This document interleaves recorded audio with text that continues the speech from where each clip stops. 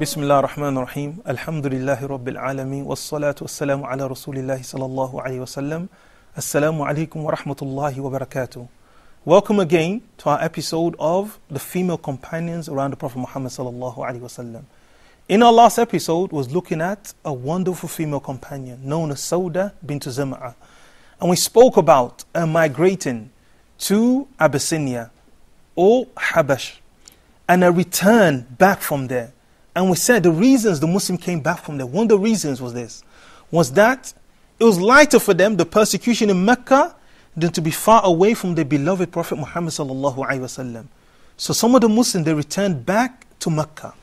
From amongst them was Sauda bint Zam'a and her husband. Upon this return, her husband, Sakran ibn Amr, became extremely ill. And by the will of Allah subhanahu wa ta'ala and the qadr of Allah subhanahu wa ta'ala, he succumbed to his illness and he passed away. But Sauda bint Zama'a, being the believing one which she is, she was pleased with the decree of Allah subhanahu wa ta'ala. She was patient with the decree of Allah subhanahu wa ta'ala. And the reward for that patience was an enormous reward. Because Allah subhanahu wa ta'ala has promised, Inna Allah ma'as sabirin. That verily He, Allah ta'ala, is with the patient ones.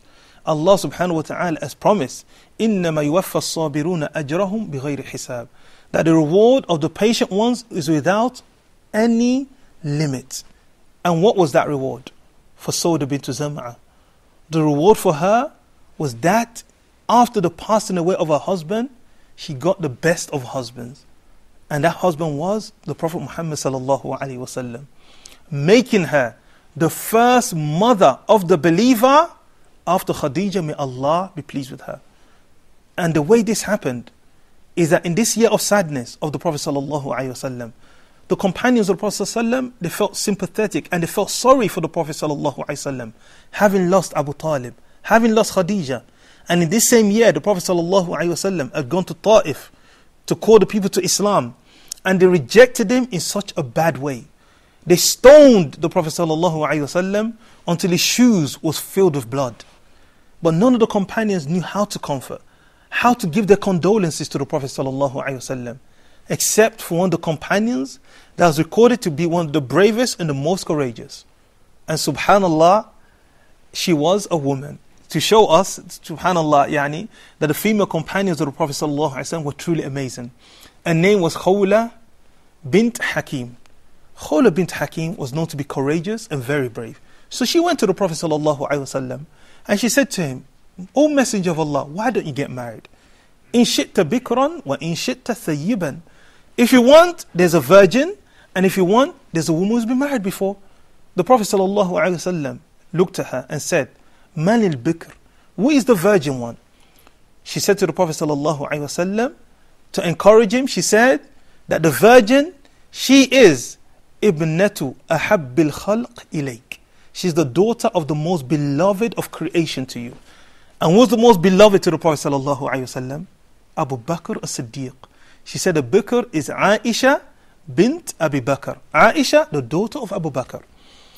And then he asked her, who's the one that's thayyib, the one that's been married before? She said to her, she's Sauda bint Zam'a. Sauda bint Zam'a, the one amanat bika, the one that believed in you and followed you upon that which you're upon. The Prophet ﷺ said, Go forward and mention me to her. So Khawla went to Sauda bint Zam'a. And she went to her and said to her, upon entering upon her house, said to her, that, Ya Sauda, ماذا أدخل الله عليك من الخير والبركة Guess, just guess, that which Allah Ta'ala has brought to you from khair, from goodness and blessing. Sauda, she looked and said, What? She said, The Prophet ﷺ has sent me to propose to you. She was overcome by joy. She said, to show the good character of Sauda and her mannerism, she said, It's better you mention this to my father.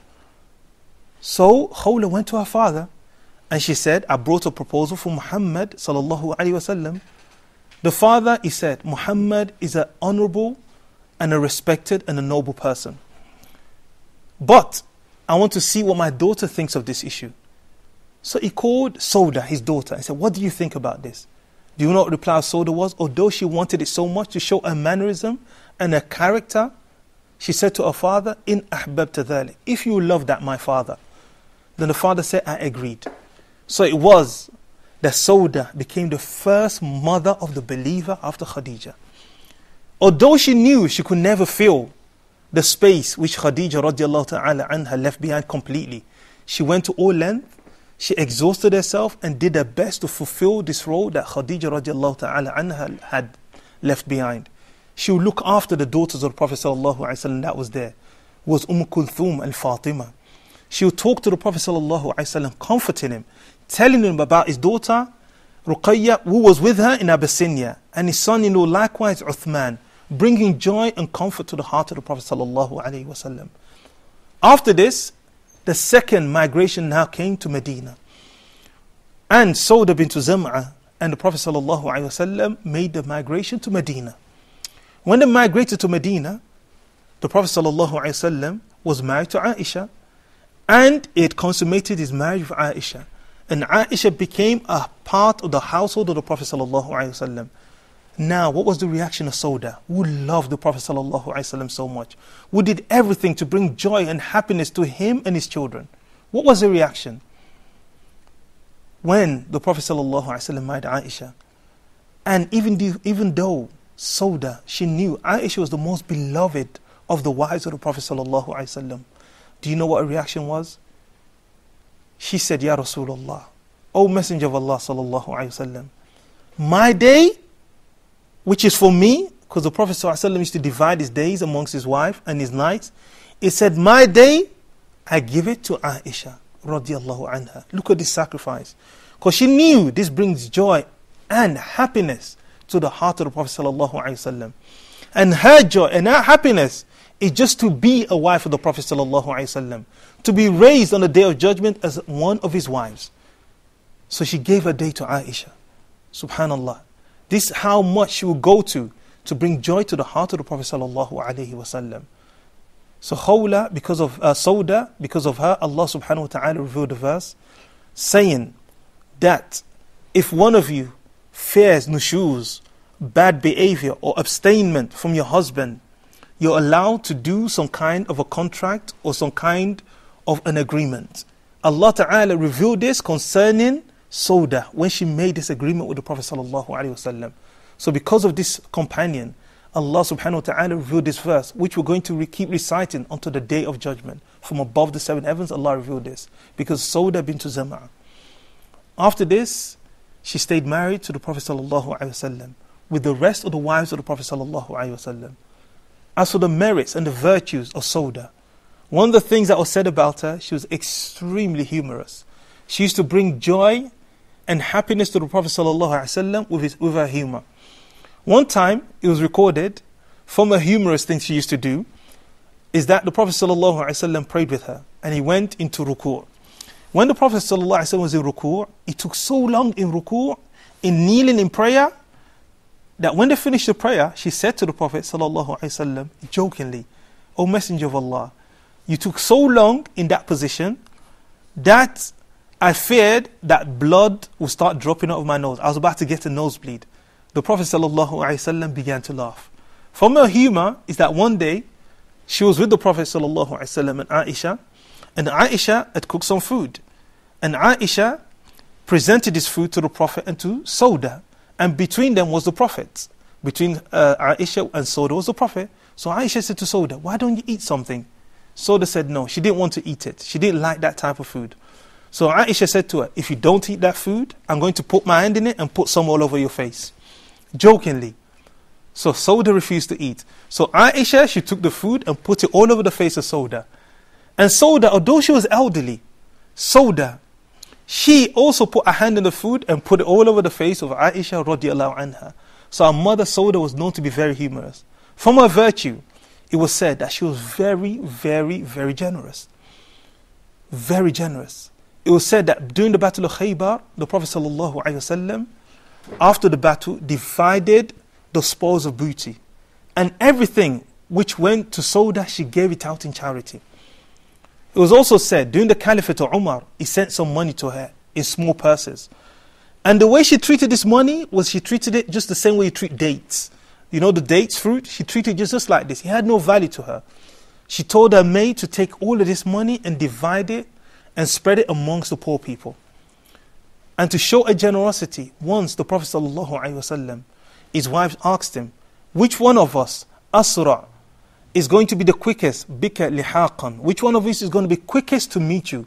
Meaning, which one of us is going to pass away after you? The Prophet ﷺ said to them, Atwalukunna. The one who's got the longest forearm amongst you. And what the Prophet ﷺ meant by the longest forearm amongst you was the most generous amongst you. Aisha radiallahu anha, she said after this, we knew that Sauda bint Zam'a was the most generous amongst us. Because immediately, the first person to pass away after the passing of the Prophet wasallam was Sauda bint Zam'a. So we knew by this, she's the most generous amongst us. Sauda bint Zam'a, from her virtues was that she was extremely obedient to the Prophet Muhammad sallallahu alaihi wasallam. In the last pilgrimage of the Prophet sallallahu alaihi wasallam, what is known as Hajj Wada', the female pilgrimage, he said to the he said to the women to stay in their houses and not to go out unnecessarily. It was recorded that after this last pilgrimage, to show her extreme obedience of proper obedience to the Prophet sallallahu she never ever ever made Hajj again after the female pilgrimage. After the death of the Prophet, she never made Hajj again.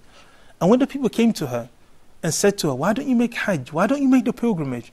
She said, My Lord, Allah subhanahu wa ta'ala has ordered me, وَقَرْنَ فِي بُيُوتِكُنْ Stay in your houses. So based on this, she never went out again. Sauda bint Zam'a. She remained after the death of the Prophet sallallahu alaihi wasallam, sincere, obedient to the book of Allah subhanahu wa ta'ala, to the sunnah of the Prophet Muhammad sallallahu alaihi wasallam, until eventually sickness overcame her, and she likewise, Sauda, passed away after the death of the Prophet ﷺ. We pray that Allah subhanahu wa ta'ala is pleased with her, and Allah subhanahu wa ta'ala makes her abode Jannatul Firdaus, the highest place in paradise. Sauda bint Zam'a radiallahu anha. Sauda, may Allah be pleased with her. Until our next episode, Assalamu alaikum wa rahmatullahi wa barakatuh.